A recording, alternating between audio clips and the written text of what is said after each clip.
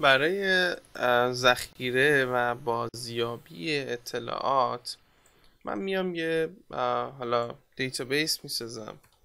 اسمش هم حالا می‌ذاریم users مثلا پنج تا column بهش میدیم. یه field ID می‌تونم بدم و auto increment باشه و username مثلا fname lname age و مثلا image هم می‌تونیم بذاریم که حالا این data type ش می‌تونه varchar باشه. اینجا هم همینطور به این ترتیب. 20 کاراکتر هر کدوم از اینها می‌تونن محتوا داشته باشن. اینجا هم تا 100 کاراکتر پیش میریم. خیلی field های زیادی میشه گذاشت. ولی من نمی‌خوام خیلی درگیر این field ا و این آیتم ها بشیم واسه همین همین مقدار کفایت می‌کنه. این جدول users رو که ما ساختیم.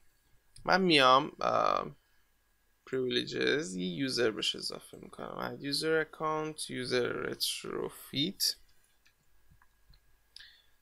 localhost password retrofit retrofit و OK check all و در نهایت هم go ما این یوزر رتروفیت رو هم ساختیم که بعد بتونیم بهش وصل بشیم و حالا موندی که دیتا توش وارد کنیم که من خودم دیتا ها رو وارد می‌کنم و بعد نشونتون میدم.